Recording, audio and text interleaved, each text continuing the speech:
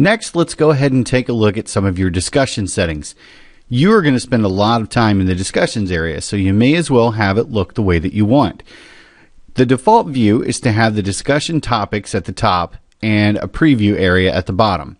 Okay, so let's go ahead and take a look at the settings icon in the upper right hand corner and look at some of the things that you are able to do with it.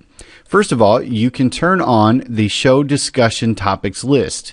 If you check that box and click save, then you're going to see a full discussion list on your left. You'll be able to quickly get to any of the discussions that are available to you, and you'll be able to see easily if there are messages that you have not read.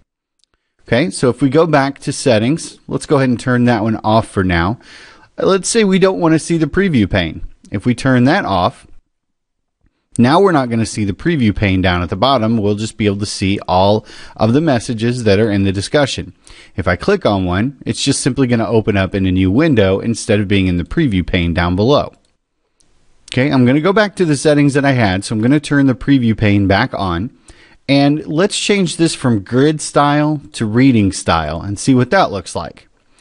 Okay, grid style shows everything in kind of a hierarchy, but reading style allows us to see all of the messages as they appear all on one page. So we're able to quickly read everything and decide what we want to reply to. Now, when we get there, the only difference is if I reply to that message, it's not going to automatically mark that it has been read, which it will do when we're in grid style. So if I have to, I would just go ahead and mark that as read after I have read the message. That's just a way for you to keep track of what messages you have and have not read. Okay, so let's go back to settings again. This time we will go back to grid style. And instead of threaded view, we're going to go to unthreaded view.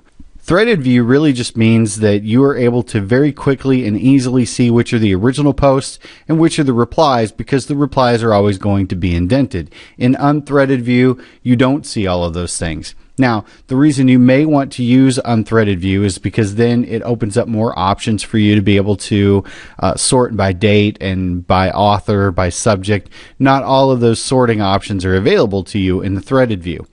Okay, so let's go back to our settings again and we'll change it back to threaded view and let's go ahead and save.